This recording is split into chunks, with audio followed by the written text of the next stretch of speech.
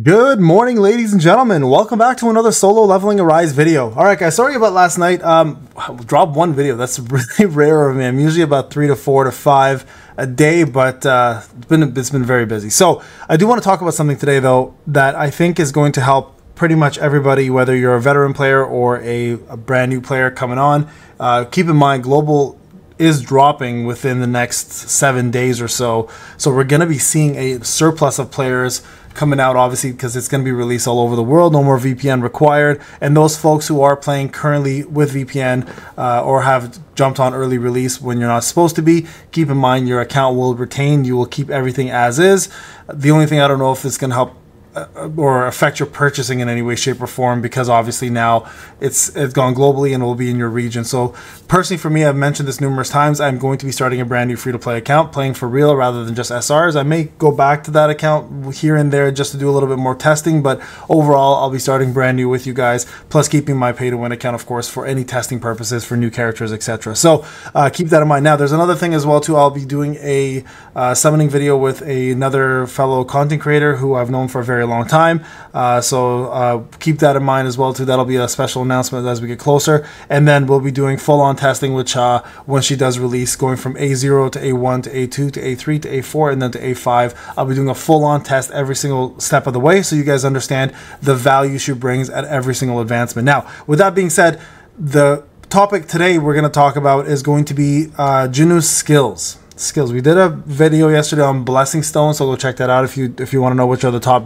blessing stones for survival and DPS. It'll give you a full breakdown. But I do want to talk about my favorite personal, my personal favorite skills in the game. Uh, we're going to break them down through a couple different ways as well. We're going to talk about utility, uh, break, and DPS. Okay, so these are going to be broken down into numerous different stages. Now, I'll talk about each single one and explain to you guys where they stand in my in my personal favorite list and what I've been able to use to utilize uh, these skills and complete the game both on free to play and pay to win. Right. So let's talk about the break ones first. So there's two specific break ones that I think everybody needs to focus on, and, and this is these are two of my personal favorites. The first one is going to be multi strike. Now remember, multi strike, just like every other skill, will change based on the rune that you plan to use. Now what I love about multi strike that it has pretty much every element in there. The only one it's missing is wind, I believe. But it's it has the most, I believe, elements of any other skill in the game. If you look here, besides I think crushing blow, which also has four, but all, that one has wind, right? So with multi-strike what i like about it number one it's rapid fire attacks which is great and they all have amazing skill. So for example if you look at the water one right this one here uh, crushing blow so this one increases the damage of crushing blow by 10% for 10 seconds. When the last attack in the combo hit it deals more light break uh, damage every 3 seconds for 9 seconds. So this one here even though it is light break it does do additional damage to break which gives you guys more break damage overall by using this water one. And because it's water elemental, it'll do more advantage on water weakness elements versus not, even if you don't have water weakness, this, this thing still applies, right? So that's the beauty of that one. The fire one is incredible because it does more damage to bosses and elite monsters. You guys can see here I got a legendary one. It's my only one. It does 100%. The epic, I believe, is 75 and the rare is 50. But nonetheless, it is medium break and does do quite a bit of damage. And again, is super, super fast and rapid fire attacking. The dark one here is actually really nice too because every every time this skill hits, increases damage by 3%, stacking up to three times. Again, this is the epic version of this one. Uh, when the skill hits, it also resets Dagger Toss. So that that's not a big deal about Dagger Toss. I personally not a fan of Dagger Toss, but it, it, either way, it, is. If you do plan to use that, it will help you with Dagger Toss cooldown. But right now, this thing here is incredible for that. And then last multi-strike here is actually the light version. When this skill is used, increases critical hit rate by 3% for 8 seconds. When this skill hits, resets cooldown which is also really really nice. So you can you can kind of spam this a little bit uh, for uh, just wait for the 20 second cooldown. It'll reset again, and you can do this one two more times. So multi strike is probably one of my favorite break mechanic uh, skills in the game. And I think it's one that people should definitely focus on. And this one also gives you super armor, which is super cool too. So a lot of cool things. This one here, you guys can see he becomes invincible, so it doesn't take any damage. There's a couple different effects, right? This one does airborne, and then this one here also does airborne. So that one, that one is one of my personal favorites. Now, a lot of people do like crushing blow as well for break. I personally don't like crushing blow quite as much, uh, but it's up to you if you want to use it. The beauty of crushing blow is it has different elements. It does give you a shield for one of them, for example, and does doesn't knock down. Increases your attack for 12 seconds, can stack up to two times. This one here uh, gives you uh, a dot on the opponent, which is kind of nice as well too. This is a counter, which actually does quite a bit of damage and also provides you a shield and is a heavy blow as well, and also provides you a stun a little bit more timing required on this one, obviously, compared to the rest of them. And then the fire version here doesn't knock down, but also charges the power gauge by 10% and decreases the ultimate cooldown skill by 10 seconds. So this one here is probably my favorite out of all of them because of the utility that it brings. So a very, very potent uh, skill as well too, but I personally just like the animation and, and rapidness of multi-strike. So these two are very, very powerful in that. Now the best one out of all the crushing uh, of all the uh, the break ones in my opinion is death dance. I think death dance is probably the best skill in the game by far for me period outside of commander's touch. And we'll talk more about that one shortly. Now the beauty here is you've got light wind dark and fire. So again you got all four elements here as well. And now with death dance you usually do a little bit more damage and the skills are actually really nice. So for example this light one is a heavy break does a knockdown but when the skill is used increases critical damage by 30 percent yeah, that's a lot, right? Critical hit, uh, sorry, uh, critical hit damage, but yeah, 30% for, for 10 seconds. Now remember, this actually does work because it's a skill. The only thing that's broken right now are stats. This also does reset Commander's Touch, which is massive, uh, and it's a 45 second cooldown, but Commander's Touch can be done twice in a row because of this skill. So one of my favorites for sure is the light version of this. Now the wind version does the light break, but the skill can be used up to three times in a row, and also it charges your skill gauge or your skill bar, which is your ultimate bar, uh, by 1% every time something gets hit. This increases as you get it up, obviously, in terms of the... Um, the ranking, I've only got it at that rare, but if you get epic and legendary, this does insane amounts of damage, plus increases your gauge even faster. The dark one is really good, very similar to the fire one for multi-strike, but does heavy break instead, and also deals additional damage to bosses and elite monsters. Again, the legendary one does 100% versus 75, and then the fire one here also uh, increases the damage done to enemy enemy elemental weaknesses. So when you're fighting a fire opponent, like the dragon today, for example, this will do 20% more damage with this skill, which does quite a bit of damage on its own, even without the break part, but it is a heavy break. So this is probably my favorite of the breaks. So there you guys go. These two, in my opinion, are the best. Death Dance and Multi Strike. You can, of course, focus on Crushing Blow, but I, I, do like these two as my favorite. Now, I would level this up as much as you possibly can. Death Dance at least, and Multi Strike as well. Remember, if you get the skills and the rankings, the leveling up will happen on its own, but you can also apply skills to level them up as well too, right? You guys can see right here, for example, right there, right? Okay, so those are the best break skills in the game. Now let's go over to DPS.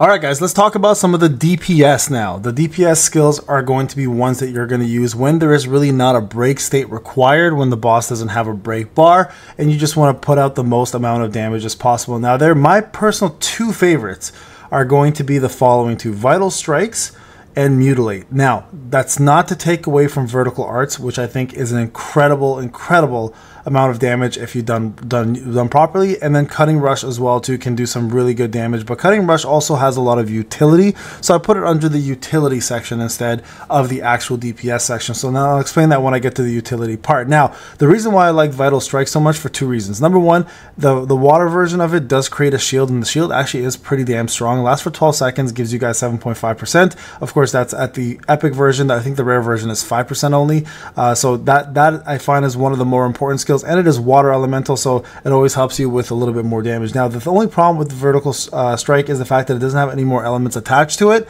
so you're going to just get raw physical damage from it, right? So if you look at the next one here, Vital Strike, which is Hone In, this one does just more damage to bosses and elite monsters. Again, 75% with Epic, 100% for the the um, legendary version, and the percentage here is fairly high. We're looking at 1,128.47%, add an extra 75% of extra damage added to the opponents. And then here, this one here, this, this I like this because it's a good replacement when you don't have Shadow Step available for you or a defense breaker. Just by casting this right here, the internal wound, you do defense down on the opponent for 12 seconds, and then when Shadow Step is up, get Shadow Step and do 60% down. So this is a good replacement for that cooldown whenever you need it. And guys, 15% defense down is quite a bit, to be honest with you, in this game. So if you don't have, uh, for example, Choi, or if you don't have Baek, regular Baek and you don't have defense down or Shadow Step is on cooldown, this is an incredible skill to use to keep that going and just doing raw damage, more damage on the opponent, right? And then the last one here is this one increases uh, Jinwoo's attack by 7% for 12 seconds, which I think is a fairly high amount with Decimate.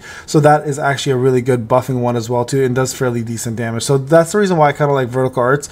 It does have uh, the utility, but also backs up with some of the damage. Now, Mutilate here, keep in mind, there's a little hold button there, right? Only specifically in the dark one. Now, this one here is so damn powerful. There's a 20% chance that the Hunter will ignore 100 percent of the target's defense uh, when they're attacking. Now that is massive. Now this is the difference between damage penetration and, and, a, and a skill like this. This one actually will ignore full 100%. Doesn't matter if the opponent has a buff or not. It's irrelevant. 100% of that defense is gone, so you'll do the most amount of possible damage on this one. And again, you can hold it down, which means you can even do a stronger attack than already already mentioned here. And it is dark element, right? There is a water element version as well. Now this one has a little bit more utility to it because you also get the option of freezing an opponent at the same time, uh, giving you that extra utility again to do more damage. Okay, and then we have ourselves uh, Phantom here, which will do. Um, 440 uh, percent, and then also based on his uh, Jinwoo's max HP. So that's a unique one because it does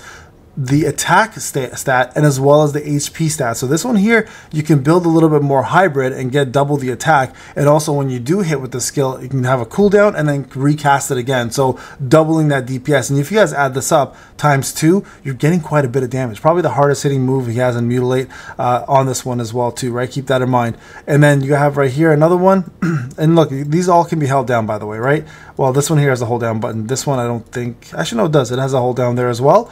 And then right here strike. So this one does 685% of Jinwoo's attack. Uh, does cause airborne, and when this skill hits, it decreases the target's attack and defense by 8%, giving you a little bit more survivability. So those two are my favorite DPSs. Now, I'm not going to take away from Crosshair. Again, the reason uh, Crosshair, or sorry, Vertical Arts is nice, I called it Crosshair for a second, is because it has all of the elements, which is really, really cool. And then also at the same time, they do fairly good damage. And now this one here does more damage to opponents in the break state by 150%. But again, that break state doesn't last very long, obviously, for opponents to get their bar back, or the ones that lose it all completely you get it for the whole battle, which is kind of nice. The fire one here does do more damage against bosses, 45%, and this increases to 75 and 100, very similar to the other one, but the percentage is just a little bit low. Uh, the dark one here is a counter, so keep that in mind. You guys can see the counter icon. So it does do 464%, does do a knockdown. When the skill is used, it applies a shield equal to 20% of his max HP, only for two seconds though, uh, and then you can counterattack and deal 100% of the damage and stun the opponent. This one does take a little bit more skill, and I think that's why I don't like this one quite as much. And then there's the wind version here. Uh, depending on the number of target hits, increases the damage dealt to non-boss monsters by 10%. So again, not quite as powerful, but it does provide you a little bit more usage there as well. But those two right there, guys, if we're talking about Vital Strikes and Mutilate, are my two favorite DPS, raw DPS ones that you use on opponents who don't have a break bar. All right, guys, let's talk about the utility ones, and then that'll end the video. All right, guys, last but not least, utility. Now, this one here is going to be broken down to two different skills. One is technically a hybrid, and second one is pretty much, in my opinion, full utility. So the hybrid one I'm referring to here is going to be called Cutting Rush. Uh, Cutting Rush has two purposes. Number one, incredible DPS, but number two, obviously the fact that it does uh, some utility as well too. So for example, one utility here is when landing a back attack has a 40% chance to apply 100% crit rate on the next attack, which is nice, but you can also see here from a damage perspective, it doesn't do too bad. There's a dark elemental one, which makes him invincible when he does a skill, but also increasing the crit rate uh, by 7% for 7 seconds. Um, and then we have this one here when the skill is used, critical uh, hit rate, sorry, critical hit damage is increased by 20%. And then also right here, doing just more damage in, in overall break state. So again, um, Cutting Rush is nice for some utility, but it's not really meant to be a utility one. It just has a little bit of it by giving some buffs. So the main utility one you're going to want to use, and I'm going to move my camera here, is going to be Commander's Touch. Now this here is going to be a key element to finishing a lot of the content in this game. Now there is actually no elemental advantage to any of this this, but you guys can see here what it offers. So first one here is called Black Hole. Now the beauty of this one is it actually consumes all the opponents in one spot and vacuums them in together, allowing you to just AoE anything in, in sight. Uh, depending on the number of targets, of course, it does do more damage to non-boss monsters. So this one is a key factor in stage 14, 15, and some of the later stages, and especially when using things like Westwind or Grimoire, etc., just to gather things together, or Scythe, it doesn't really matter. Any AoE skill with this pretty much murders non-boss units. All right. Uh, now another one here, of course, is going to be the finisher. Now the beauty of the finisher is it, it decreases the target's defense by 15%. The only problem with this one is it does take a little bit of time to cast, uh, so just be wary of that. But again, it is an AOE utility one and does do decent damage at the same time. It just takes a longer cast though. Uh, so liberation here, this skill can be used up to two times, which is beautiful, and your attack increases by 3% for 12 seconds, stacking up to two times. Of course, is the epic version. Now, if you have the Death Dance Light skill, you can recast that twice, giving you guys even more utility from this one, giving you a stack of uh, nine sorry uh, twelve percent if you recast it four times, right? Because this one can be done stacked up to twice and can be done two times. So casting it four times will give you guys twelve percent more attack, allowing you to get a pretty major buff and do some pretty decent AOE damage as well too. And then absorption. Now this one here is kind of cool because uh, this does fairly high damage, does a knockdown, but also when the skill is used and hits the opponent, the user recovers 5% of their mana points. So it's a great way to keep your mana going, and at the same time gives you guys 5% of your power gauge, activating a maximum of three times. So this is a great way to grow your ultimate bar, plus keep your mana flow going fairly steadily. Now this is an epic version, of course, so keep that in mind. So this, in my opinion, is hands down the best utility in the game, so Commander's Touch. So the top four guys, I would, or top five, I would focus are going to be Death Dance and Multi Strike for full on break. Again, these are just my opinions and what I've been able to do. There's no wrong answer or right answer here. Uh, for the main DPS ones, I do Vertical Arts, or sorry, uh, Vital Strikes and um, Mutilate as the two main DPS ones. And the main utility one is Commander's Touch. Now, again, remember, you can skill these up by using the level up option right here. I'm going to move my screen again or you guys can get different various versions of these. When you do that, the skill will level up on its own. All right, guys, this is Payne. Hope you enjoyed the video. Let me know if you have any comments or questions or any suggestions yourselves, and let me know what you're using uh, for these levels of break, DPS, and utility, and maybe we can learn some more things from you guys as well. All right, guys, see you guys in the next video. Take care.